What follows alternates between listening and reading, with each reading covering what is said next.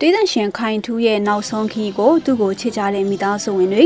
အမှုပညာရှင်တွေနဲ့အတူပြည်သက်တွေကပါဒီကနေ့ဩဂတ်စ်လ17ရက်နေ့ညနေ4နာရီအချိန်မှာလိုက်ပါပို့ဆောင်ပေးခဲ့ကြပါတယ်။ဒေသရှင်ခိုင်တူဟာပန်ကရိယာကင်ဆာရောဂါနဲ့ဩဂတ်စ်လ9ရက်နေ့3နာရီ24မိနစ်အချိန်က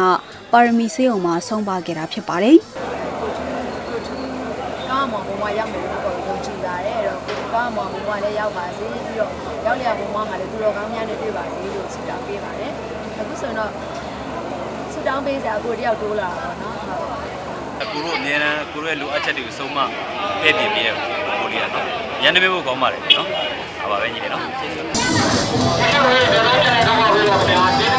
တေးစီဒီပေါင်းများစွာရဲ့အဆိုရှင်ကိုပိုင်တချင်းတွေနဲ့သာအောင်မြင်ခဲ့သူခိုင်ထူးရဲ့ရွှေလေတိုင်းစကိုင်းလန်အစ္စလီခတ်တာ